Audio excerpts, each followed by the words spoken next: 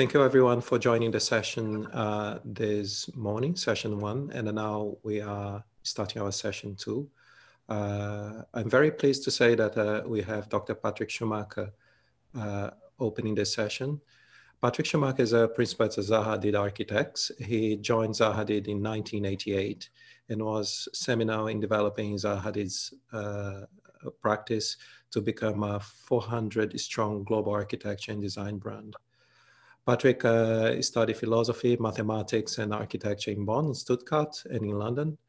Uh, he's received his diploma in 1990, and uh, he has been a partner since 2003 in a cohort of uh, all projects as Zaha Hadid. So Patrik uh, has a long uh, tradition of exploring possibilities in the realm of co computational design, uh, and there is a long list of contributions from uh, Dr. Schumacher. And uh, with no further ado, I'll just uh, pass the word to him uh, and uh, his current research. Thank you very much. Thanks. hi, Abel. Thanks a lot for generating this event and inviting me to it. Um, the research I will be presenting, you've seen a number of times as you joined some of our sessions. Um, I'm calling this talk Expanding Architecture's Core Competency. It's uh, moved on a little bit from the paper I'm delivering to the conference book, which is talking about operationalizing architecture's core competency. And you'll see what the difference is because I've been, I will not only share research uh, ongoing and achieved and in process, but also some ideas about the next expansion of that research project. Um, and I'm saying here ZHA and AADRL because some of the research is done um, uh, at the AA and then uh, it continues in our own research groups. And then always the new stuff. I'm just starting now with AADRL and I show that at the end, the outlook of where I think we should take that uh, next. So, so I wanted to um, first start with the um, premise of all of this, that the societal function of architecture is an innovative ordering and framing of communicative interaction, it's important to uh, distill out the core competency and societal function of architecture versus other disciplines that often is confused with or mingled in with and historically was mingled in with, particularly with the engineering disciplines. Uh, so we are in charge of social functionality uh, and the technical functionality is something downstream with engineers. Of course, we're interested in uh, these engineering processes and fabrication and construction to the extent that it is communication relevant. And of course, uh, the, the, uh, the, the, sensuous um, um, presences and articulations of the built environment all the way down to um, tectonic details are communication relevant. That's why we remain interested in it, but our core competency doesn't lie there. So, uh, so I'm have want to offer these three theses. So the most general description of architecture's task is to provide order in ordering social processes, not shelter, which is uh, now more an engineering kind of job in terms of the physical uh, provisions. Architecture is responsible for social functionality, not technical functioning. Uh, I had that mentioned already, but uh, what is also important that this order is recently at least, and the more society progresses, mostly delivered via communicated demarcations and let's say designation rather than physically enforced via physical boundaries, which is, um, still exists, but I think uh, we're trying to move away from that. And it's a kind of uh, rudiment or an element of regressiveness is if kind of physical and demarcations, uh, let's say, would re-emerge. So I want to use this, these images as, as an analogy. So you can see you can actually order an, an, interaction process like kind of a sports field, to sports field with, uh, not with wars, but with these kind of territorialization and demarcations. And um, so that's when I want to look at architecture. And it's a, you can see here it's an ordering, but also it's a semiology in each different territory, different rules of interactions, or let's say interaction protocols uh, at apply. And what you can also see in that analogy here so that, yeah, the different zones, different rules of interaction apply, but you also have a, a the, various users are differentiated with respect to various uh, teams' rights. There's a referee, goalkeeper, players of different teams, etc. And that's typical. And there are also kind of, they have designed uh, outfits which demarc uh, which which designate that those functions and we do that as well and it's all part of the design discipline. So i'm talking about the totality of the built environment and world of artifacts including dress etc as being the realm of design which uses spatial visual language to structure social interaction and make uh, let's say sophisticated goal oriented collaboration possible and therefore it's a huge aspect of the prosperity engine of societal processes, which gives us a degree of freedom uh, and huge level of prosperity achieved. So you can see here, I'm comparing this to some, uh, uh, you know, old Ch Chinese renderings, and this has been always the case that we have social interaction framed and differentiated through spatial demarcation, ornamentation, and morphological uh, and semiological uh, differentiation. And so that is a system of differences, so we can't essentialize an individual, um, let's say, form or shape, but it's a system of difference. So these four designs of a chessboard, one of them, by the way, the Zaha Hadid architects, uh, there are, um, in terms of the information content and semiological, um, let's say, manifold equivalent. We could start to criticize them in terms of legibility, ease of differentiation, etc. So there still remain, um, so there's a lot of degrees of freedom in articulating the built environment. Um, um, there's this kind of arbitrariness uh, within a semiological system, which, which, which is of course only a layer of an ultimate systematicity and set of constraints and functioning constraints. So, so I'm going to talk a bit about architectural semiology as uh, being at the heart of architecture's core competency.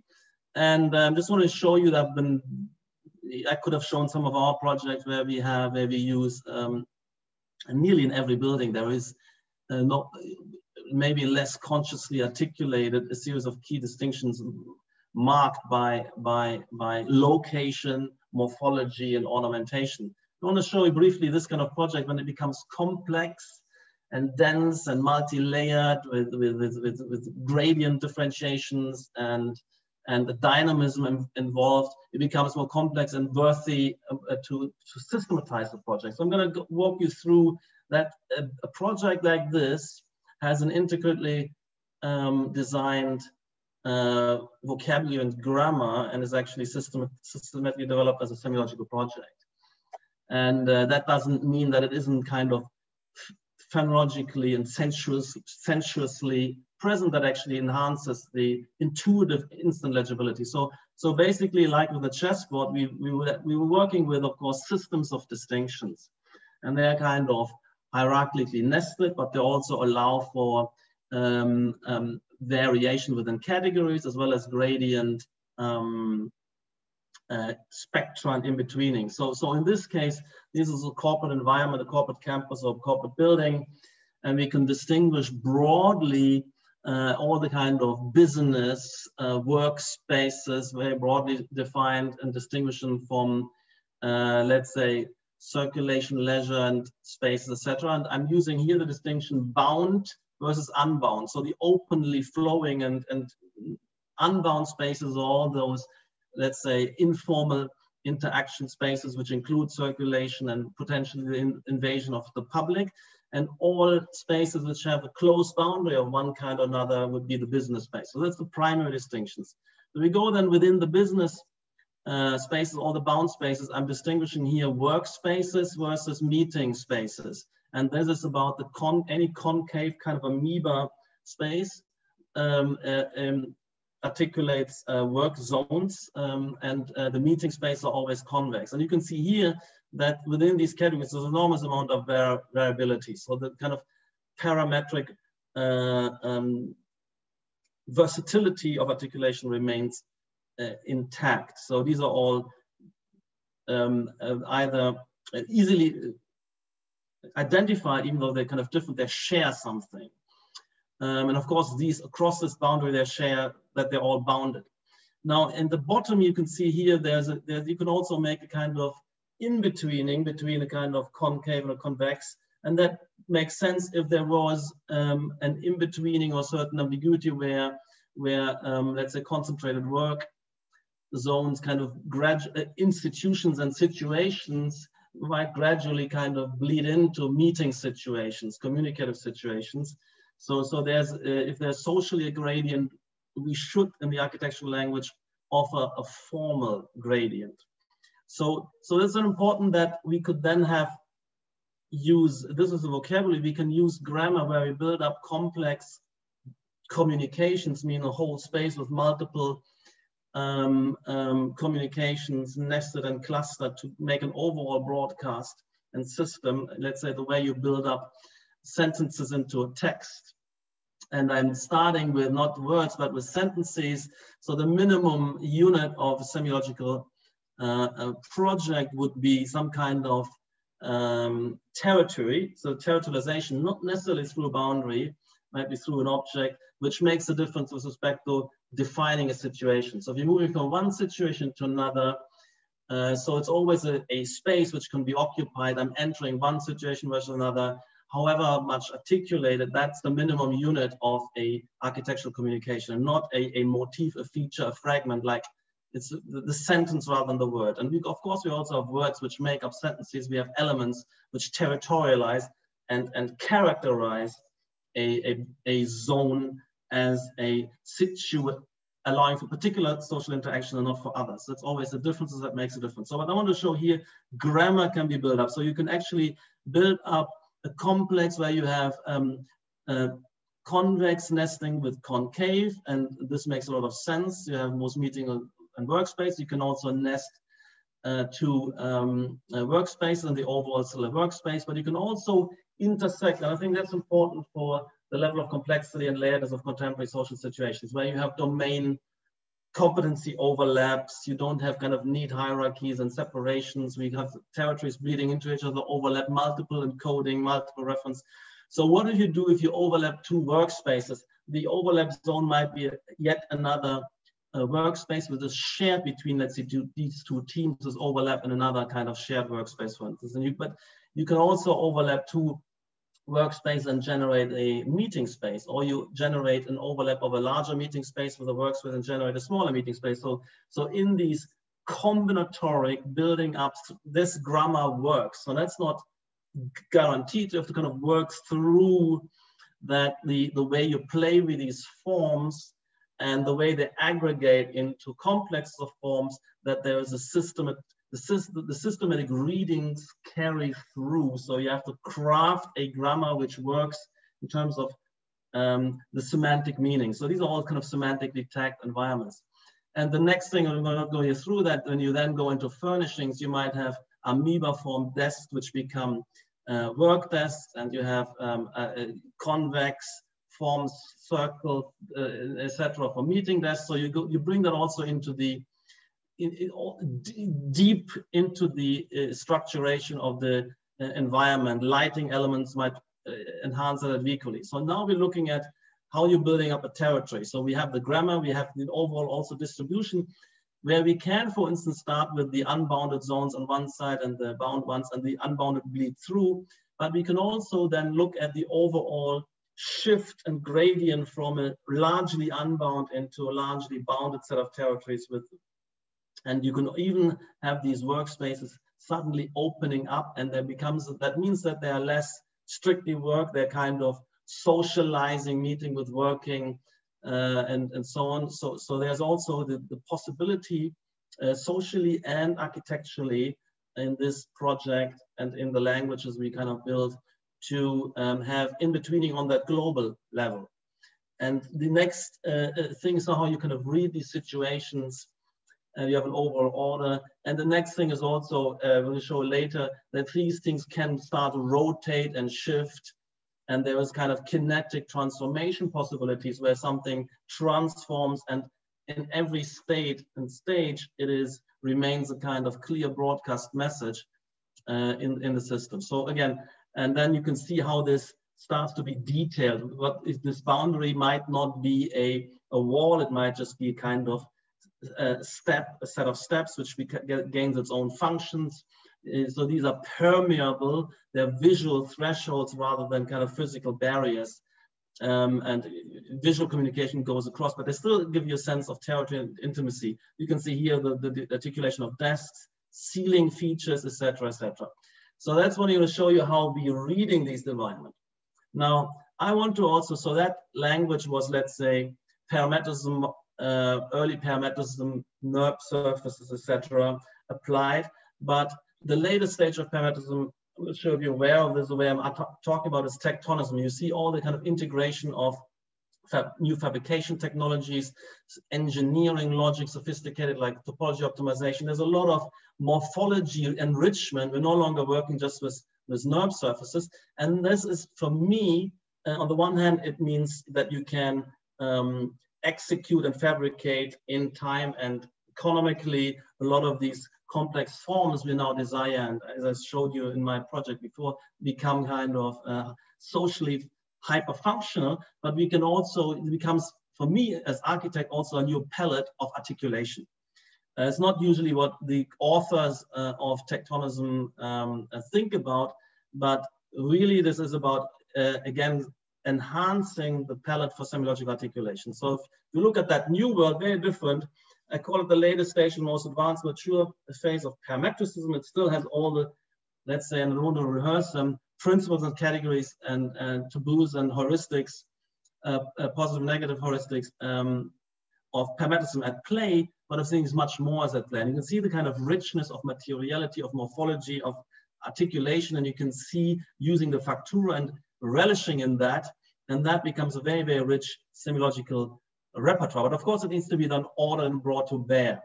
And I just want to show you these pavilions from Achim Menges. They're not thinking about semiology, but you can construct these networks of similitude and, and, and, and differentiation. So it's important that you can kind of bring things together, for instance, here through materiality, which are uh, on some dimensions similar and other dimensions uh, dissimilar because they share certain features, there's certain, maybe they overlap in certain con conditions.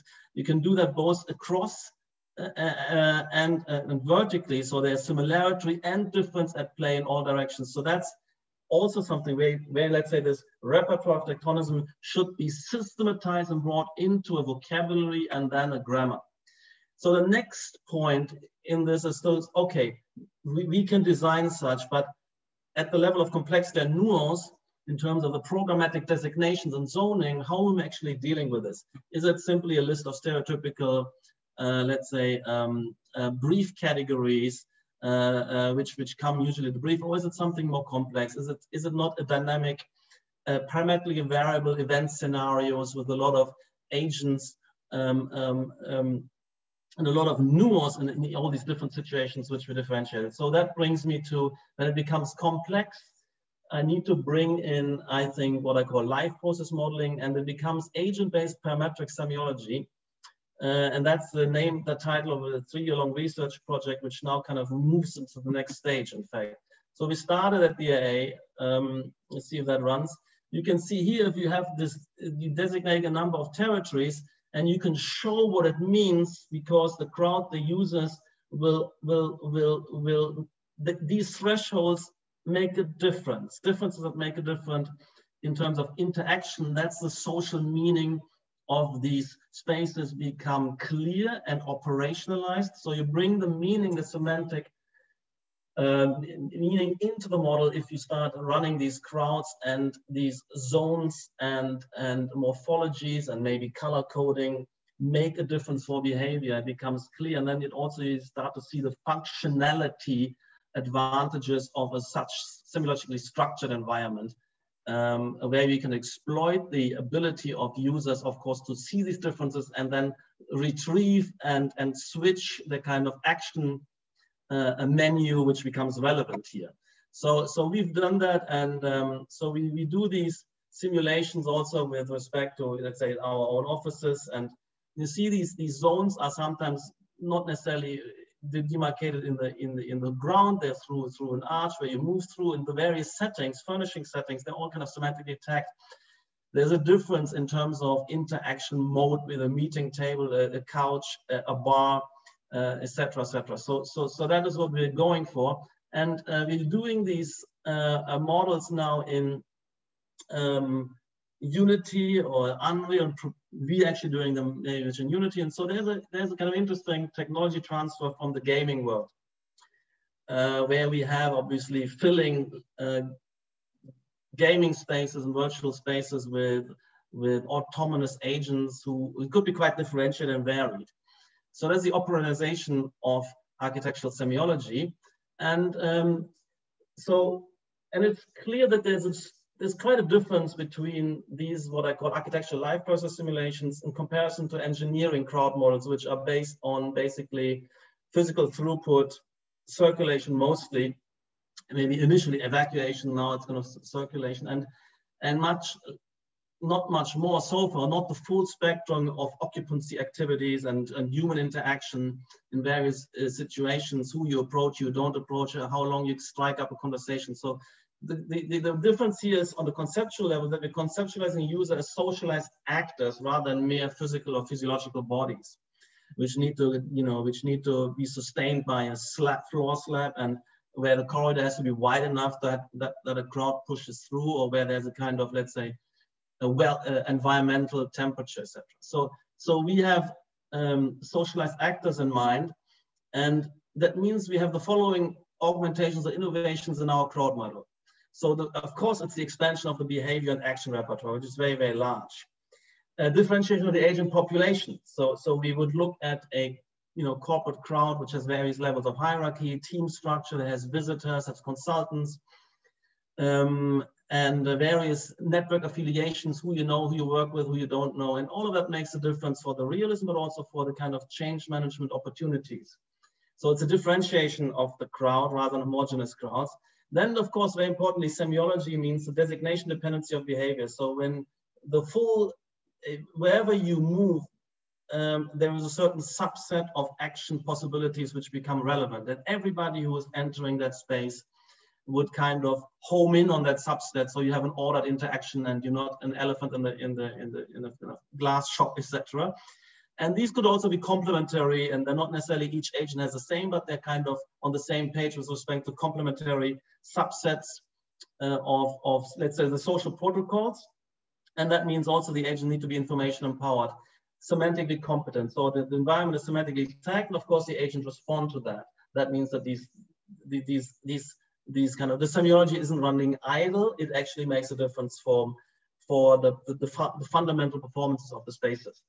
And uh, then we're developing these agents have more complex decision uh, making processes, which we're learning also from the advanced gaming AI, and we working with our agents with utility functions. So they have a series of uh, considerations, uh, depending on close, there are a number of options come to view, but they have also internal states and degrees of urgency with respect to various overall tasks they have to do. They interrupt the kind of minor task to move on to a major task, which has more importance. And that is kind of a, a, something we're learning is an element of, sorry, of um, um,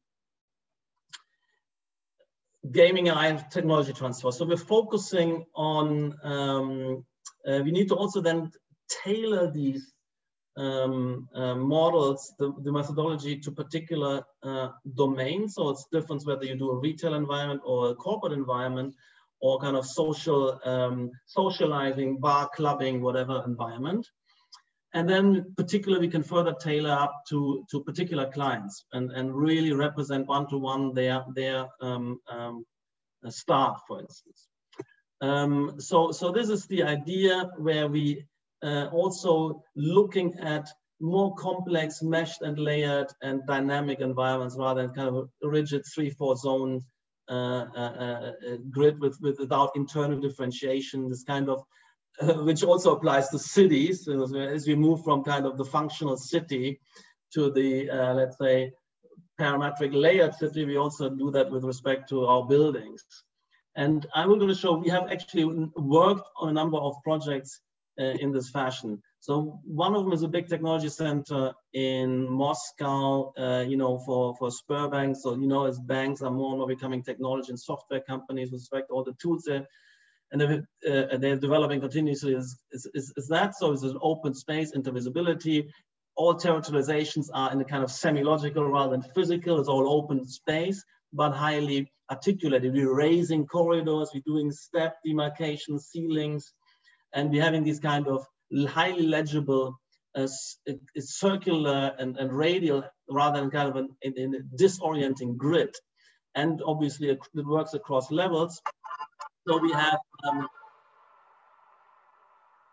space, we also furnishing and starting to populate and simulate with our agent models uh, the interaction processes and then be starting actually to measure uh, you know encounter densities frequencies encounters with between how and where encounters and how much of encounters are transformed into conversations and how how how are the various status groups involved and we might want to know in terms of success criteria that for instance managers get more interaction potentials that we have inter and between teams, not only within teams, communication, etc. So we, we, we, we can kind of measure that. So we're building up, uh, uh, you know, the agents. We have a, we have a kind of schema methodology to, to build them up, and then run them, and then populate. We can run hundreds and thousands of agents simultaneously with these, and then we, we can vary the, the, the, layouts. In this building, it was too late to vary cores and entrances, although it makes a difference atria and shortcuts, but we're varying all the furnishing and the second layer of where we raise uh, circulatory versus versus um, um, working territories. So and we're going quite into detail. You can see what we're trying to do here is also have kind of phenological legibility in these clusters to be maintained. That's another kind of sub aspect. Uh, um, what do you see? What do you perceive? We haven't operationalized that yet, but we're using our in own intuitions still to do that. But the whole process is moving our into intuitive, um, let's say, capacities as designers, which are irretrievable and uncommunicatable, the inevitable, into an operationalized systematicity. So we're doing systematic variation of these layouts and we run the test and we get quite significant differences in encounter densities and, and also in conversation, uh, let's say, um, translation of encounters into conversations, etc. So, so differences in, in layout really make a difference. So we can prove also parametricism layouts are stronger uh, than, than, than, let's say, minimalist layouts, semiologically enhanced and higher ordered environments make more, um, deliver more functionality than kind of neutral and, and, and kind of non um, uh, under in, less information rich environments. And we can home in on the particulars. And we can actually loop that into an evolutionary process. And uh, we can also simulate and visualize it. So we can have a visual control over the veracity and plausibility of some of these um, um, simulations. And uh, we can also invite kind of first person perspectives in that and let the let the let the let the client kind of get a sense of this and view some of these and uh, the degree to which they find these plausible, etc. So I think there's a number of things, as well as a lot of statistics we withdrawing. There's also attempt of empirical calibration. Um, so I think we've we've moved, and again we're bringing in uh, network graphs of the uh, of the um, um, corporate population in both to increase realism and to uh, home in on, let's say, targets uh, where we have communication deficits, which we, we do. So this is Sberbank. We're doing similar things for Infinitus in China, a major corporate campus under construction. And we've done similar studies here and run the, run the analytics and run the simulations.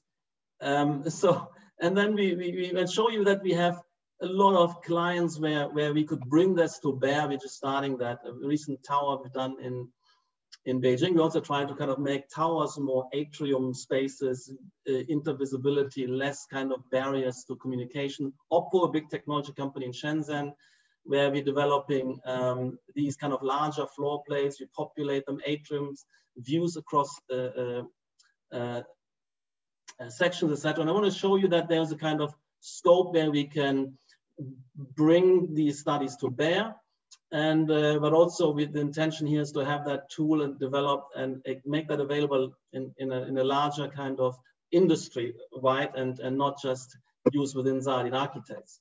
So Um, and I want to now show that the, what, what, what fits within that is this idea of creative spontaneous environments. So an AI empowered environments, because when we model in Unity the, those, those um, human agents, we can equally model and, and, and give behavior and, and, and responsiveness and decision-making processes to uh, robotic furniture, let's say, or architectural elements like partitions, uh, screens, doors, lighting, all of them become equally part of a, um, a interaction process. And we looked at, um, you know, this is AADRL, a series of projects which make an urban cluster. We're also activating outdoor spaces, urban spaces, uh, and we, we run agents there and we, we designate and demarcate and, and semantically tag a lot of programming the urban space more than is usual. And you can see here that we're running, um, you know, these kind of configuration and reconfiguration. We have overlap, we have,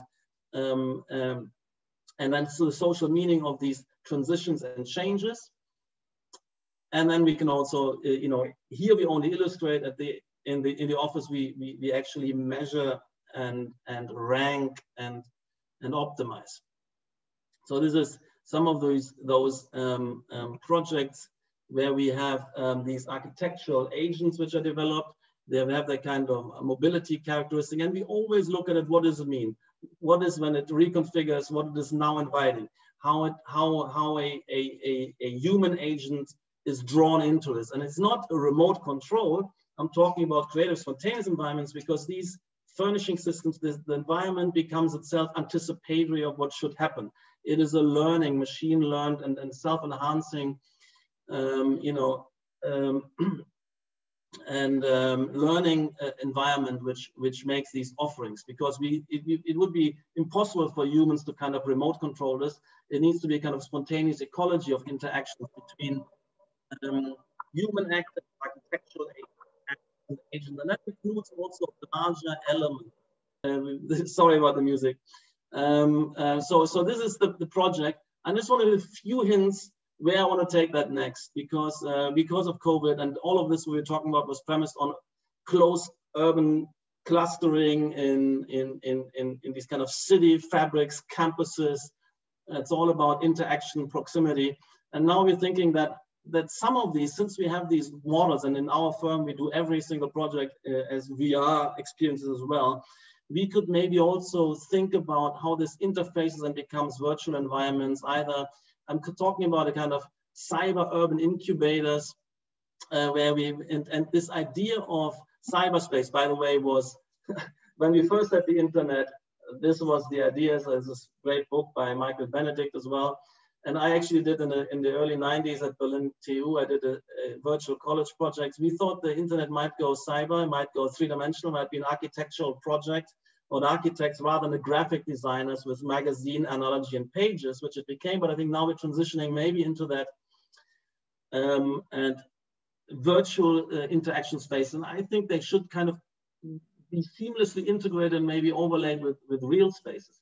So, so, but I'm just going to look at, I mean, you know this stuff. I mean, Facebook is going into that and, and having these kind of virtual interaction space. And they, they're quite compelling and quite convincing how you layer, for instance, a kind of sort of virtual uh, presences into the Facebook offices or how you start uh, opening up a screen, share video, things what we're doing here on a grid with, with 10 spaces on a grid and the rest hidden, uh, where you have more of a layered and deep space hierarchies and you can approach and chat.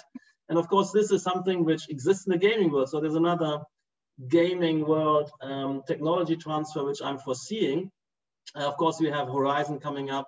We have these metaverses like um, um, Decentraland or, or Insomnium, uh, uh, Somnium Space, which is here where you have, have nightclubs and a lot of kind of not so much yet productive, re, uh, you know, collaborative uh, uses, but I think we can see that there's enormous potential. Uh, but also, uh, you know, the, the, the pub experience after work is, is maybe as important as the, as the collaboration uh, during work, the, the after conference, you know, uh, socializing, etc. So we shouldn't dismiss this. But here we have a series of nightclub scenarios in Somnium space. We have Decentraland marketplace. We have, we have kind of, there's also real estate, location, location, location, and you can set up your, your stalls, your, your building, your offerings. There's events. There's of course the avatar creation. I mean, you, some of you, most of you know that, and that's what I'm getting into.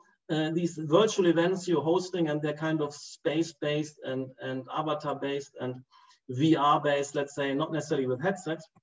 So that's what I'm looking at. And we're seeing now a, ser a series of businesses taking this out of the gaming world into real world and we're doing these virtual substitutes like we're having now for serious work, you know, for, for fair trade shows combined with conferences where you can, you know, actually load up the 3D model and talk about it and have chats and and so on and so forth. So, so, so there's a number of firms in getting into that space just starting to look at a virtual events demo where you put up your stall and you look at the, a lot of this architecture also in these metaverse is, is very kind of claptrap collage. It is they very soon when these when these when these lands and spaces become valuable, they will call on professional help. They want to kind of mock up or draw down a kind of kitsch menu to place things. They want professional designers create their their digital um, uh, environment. So you're moving from a kind of mom and pop shop to, a, to, to, to a branded shop. So I'm just looking at this world and say, hey, we are ready. We can go in there and make a difference and we can use all the expertise. And this will be still parametricism. It will be creative and spontaneous. It will be agent-based. We can bring us ourselves as avatar. We can also kind of bring ourselves in as autonomous uh, creatures who are, who are roaming around for us. Now, there's another one very interesting, Confer or Matic. This is a conferencing setting with chat zones and, and social zones and lectures and, and workspaces as well as with, uh, with the store. So there's a number of people. And now I'm looking what we're doing at the moment in terms of these incubator spaces, Unicorn in Chengdu, um, uh, Tencent, who is actually a gaming company, and we're doing uh, these kind of models already for them. Uh, we're developing the, the, the technology campus. Why not at the head of building make a digital twin, run this into with additional capacities, of course, make it seamless, the corporate territory and their kind of virtual hosting territory. And some of those who are working from home or, or clients who come in and visit, uh, they would have a similar environment. So we can really bring re real and virtual together and make our expertise take over the internet and take and not be kind of pushed out and substituted as real estate kind of investment shifts into investing in these virtual spaces, but that's our core competency. All this is semiology and spatial semiology to, to facilitate navigation, legible interaction approaches, as framing communicative interaction, real and virtual. So it's an ups, my project anyway, an architectural project implicitly is full on to take that on and also integrated with, with, with, the real. I think the real, of course, will continue, and uh, but we will have that we will have that new layer and aspect, and that's why I want to bring this research project next. And I'm presenting that here's idea, and usually I should present, I mean, present uh, completed works and not ideas, but I'm doing this here because I have the sense it's an open invitation for people who want to collaborate, want to help with expertise. I saw the previous speaker was talking about working in gaming, AI, uh, uh, game development and there's an enormous opportunity to do more serious work than, than, than doing shooting games because the technology transfers beautifully. And it's already happening, by the way. I was talking to you. If you go to Fortnite, it's already a big hangout space. It's, you know, uh, that's where people hang out is a social media space. And it is already productive. It's not just the, the distraction of shooting. You know, I was talking yesterday to a, to a, to a CEO of a new startup doing avatars systems for Tencent and elsewhere. And he said he will used to hang out at the basketball court. Now he's hanging out in Fortnite, literally. So I think that's, that's my pitch and uh, please help because that's a big project we have. Thank you, Patrik, so much. Amazing, absolutely amazing presentation. And uh, as usual, amazing, some of the most extraordinary architecture uh, of the last 30 years, I would say, the last three decades, uh, what uh, Zaha did and you produce.